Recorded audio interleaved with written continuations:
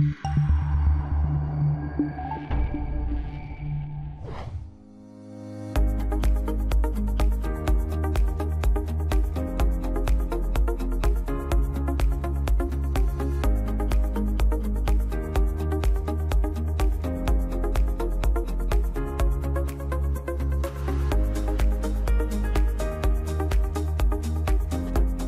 Hello, my name is Lowell Vanderpool, and this channel is dedicated to IT students, IT professionals, and anyone who enjoys learning technical subjects.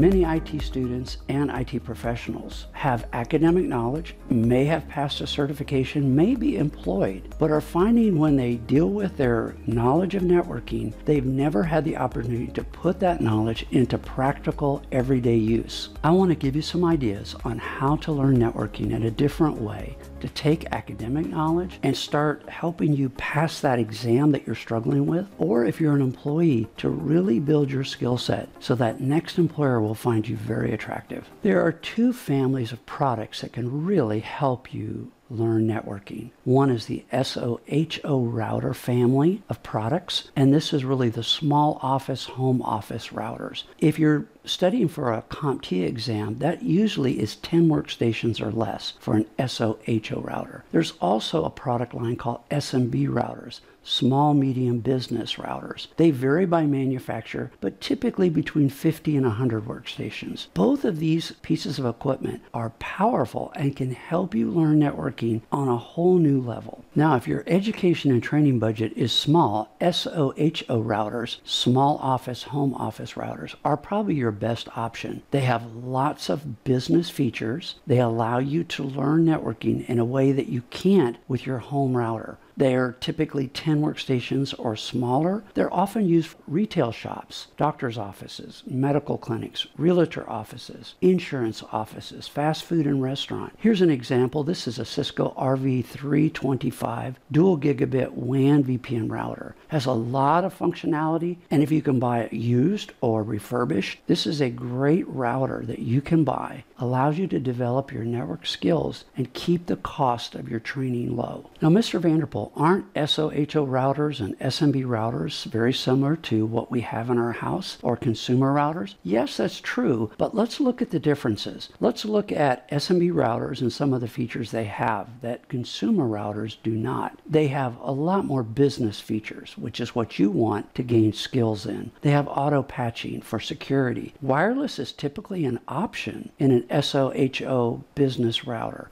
dual LAN for reliability, dual administration. Now, on the consumer routers that you typically buy for your home, they're inexpensive. They focus more on wireless speed and wireless distance. They very rarely get a software update, which puts them always at security risks, and they're designed to be simple to set up. IT students and IT professionals need to pass many certifications. Those certifications want basic networking skills. There's no better way to pass these exams or better prepare yourself for that next employer than to buy some low cost equipment and actually learn how to set up an SOHO SMB router, how to set up firewalls, configure them, troubleshoot them, learn more about network protocols, wired and wireless technologies. What about WAN technologies, uh, security, and so much more? As my years as an IT instructor, I often counseled students who came from another community college or from a university or from another training institution, and they were very frustrated. They had academic knowledge, they had passed certifications, but they were just not attractive to employers. And the main reason is those employers want want skills. They want practical installation, troubleshooting, configuring skills in networking and all areas of IT work, not just knowledge.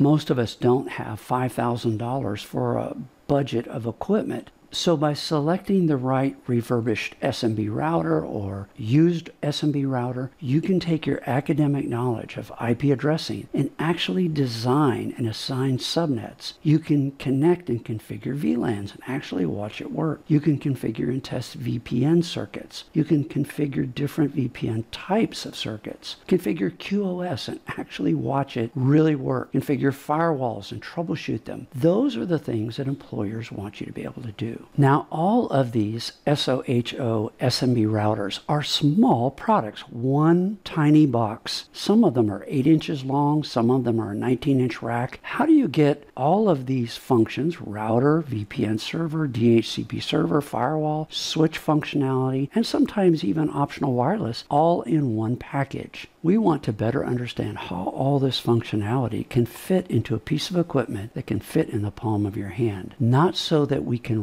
recommend it to a business client. That takes a lot more knowledge and a lot more experience, but so that we can choose the right product to help us learn. Now, let me stop for a minute and give you some encouragement. There are a lot of IT students and newly hired IT employees who struggle understanding network concepts. Let's understand networking is a challenge to learn. Do not judge your ability to succeed in the IT field because you have to work hard to learn something. I have met bright, educated people with so much potential, and yet they did not do well in IT and they did not do well in their career. Now, that's not taking away from people that are bright and educated and have potential and do well. I'm trying to encourage people who are having to work really hard to master these concepts and gain these skills. Success is more than academic skills, it's integrity, it's personal growth, it's respecting people, it's humility, it's just plain hard work. If you find yourself having to work really hard to gain the skills and knowledge in the IT field, you've got a lot of good company. Let's look at this block diagram that shows how the components and functions that we need in order to connect a local area network to an ISP and an ISP to the internet. The ISP brings many important things. The ISP brings a DNS server, an ISP router. It brings the last mile to your local area network. That last mile could be coax, fiber, could be cellular, it could be DSL. Once we connect to our router, we need a firewall, we need a network address translation or port address translation capability. We need a VPN server. We need a internal router. We need a DHCP server, a Samba server if we want print or file sharing. We need a layer 2 switch. We need wireless radios for our wireless connectivity. All of that is the basic functionality to connect a local area network to an ISP to the internet. Now, when we're doing this in an enterprise network environment, we're doing the same thing. We're spending a lot of money. We're using a 19 inch rack. We're buying discrete routers, discrete switches, discrete devices, but we're doing doing basically the same thing. So, how is it that we're able to take all this incredible network functionality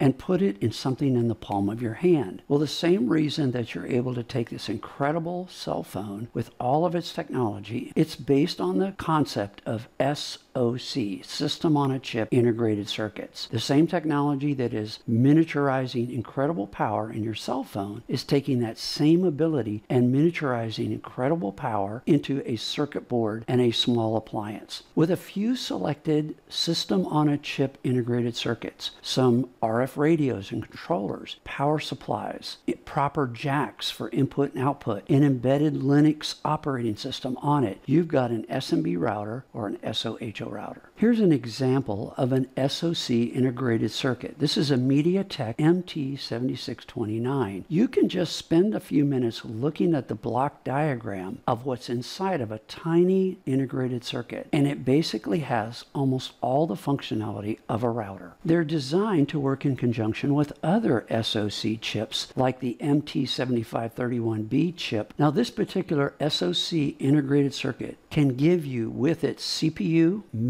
storage capability, input output capability, can give you a 3.5 gigabit bandwidth for a small business router or a broadband router. Now, this is a product from a company called Banana Pi. It's an open source hardware platform that takes those very integrated circuits we just showed you and puts them on a circuit board and allows designers to choose operating systems to build a pretty substantial, powerful SMB router. There are many companies that make these integrated system on a chip integrated circuits Broadcom, Qualcomm, Marvell, Atmel, Altera, Microchip, MediaTek. These different integrated circuits can work well for product lines like SOHO routers, and they have product lines for the more substantial, more expensive SMB router. Here is a block diagram of one of the top of the line SOC integrated circuits used by a lot of SMB manufacturers. You can just spend a minute and look at all the functionality in this one tiny integrated circuit. Now, lower cost SOHO routers, SOC chips are critical to these product lines. They lower the total cost of ownership. They have the business features that you're looking to use in order to learn networking. They have lower bandwidth support, so they don't have a lot of bandwidth, but there are many serious concerns about security. But they are perfectly fine for learning network on a budget. Now, SMB routers also use a selection of SOC integrated circuits, but typically higher end products. They're more powerful CPUs, they have more RAM, they're designed for operational resilience, usually dual WANs, so that if one ISP goes down, they can fail over to, say, a cellular ISP. Typically, total cost of ownership is higher. They have a lot of really nice business features higher bandwidth support, more security, better technical support. If you can afford a used or refurbished SMB router, it's the best way. Now, the operating systems that run these SOHO routers and SMB routers are typically Linux. It's the most popular. They typically embed it. Now, some of them have a GUI interface, some of them have an HTML interface with a cloud connection. Juniper uses their Junos, which is a great operating system. Cisco uses on many of their SMB routers a version of IOS. There's also a, an operating system called OpenWRT. Here's an example of the interface for Cisco's RV line of SOHO routers. It uses a Linux operating system with a GUI interface. Now, this is TP Link's business side of their products, and again, they use Linux with a GUI interface. Take a look at this diagram. This is a typical small business network topology. Now, for training, if you can afford an SMB router, they're just more powerful. They have higher bandwidth capability. They include ASICs and GPUs for encryption, decryption, for VPN, getting them more bandwidth out of their VPN circuits. They're more secure. They have dedicated CPUs, typically more powerful ARM chips. Sometimes they put Intel Atom processors in them. They use sometimes more proprietary operating systems. So that's where you want to be careful. If you're buying a used or a refurbished SMB router, make sure that you have the rights to the software. Some features will require additional licensing, so watch out for that with the SMB routers. They usually have automatic updates and patches and they have a little higher price. Now let's talk about throughput. As we talk about SMB and SOHO routers, let's look at throughput. First, I want you to look at the graphic on the right. Notice where it says router 18.5 gigabits per second. That means with not a lot of functionality turned on in this router, from the WAN port to the LAN port, I can get about 18.5 gigabits in this particular router scenario. But look what happens when I start enabling firewall capabilities, or I'm doing more packet inspection. My bandwidth goes down by half, 9.93 gigabits per second. And then if I turn on VPN with IPsec, 1.77 gigabits per second. Very important to understand this. Now, when I purchased my home router, which is what you see in this picture, I was very interested in throughput from the WAN port to the LAN port. And you can see I ran a speed test just prior to building this PowerPoint slide. And you can see I got about 1.1 gigabits per second. So from the WAN port to the LAN port, which is basically router functionality, I'm getting about a gig through this router. Now here's a Netgear appliance that you can use for a home network or a small business, and it's about $189. Look at the performance.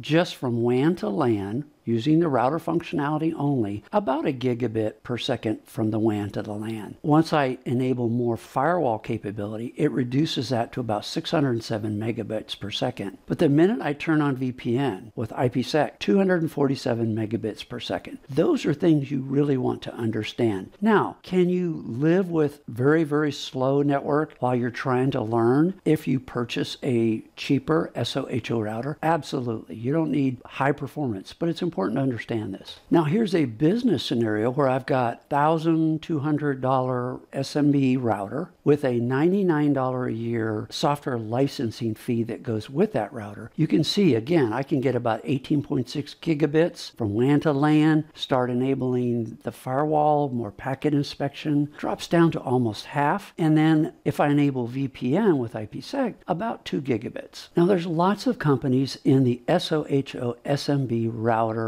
space. Let's take a look. We have Checkpoint, Fortinet, Dell Enterprise has a variety of products out there. HP Enterprise has a variety of products. Netgear does primarily SOHO routers. D-Link, again, the same. Cisco has both SOHO and more of the SMB product line. TP-Link, Netgate, Banana Pi, WireGuard, Juniper, Ubiquiti. So there's many, many options to choose from. The market varies in price from high-end $600 to $2,200 with yearly fees. This is also an interesting place where we're seeing open source really play a role. Now, pfSense is an open source firewall router software. You can simply download a copy of FreeBSD with pfSense built in. You can install it on your own PC hardware as long as you have two network cards. You can put it into a Hyper-V virtual machine or a VMware virtual machine. You can actually get this in Azure. You can actually purchase this in AWS. This is a very powerful option for students that want to keep their costs down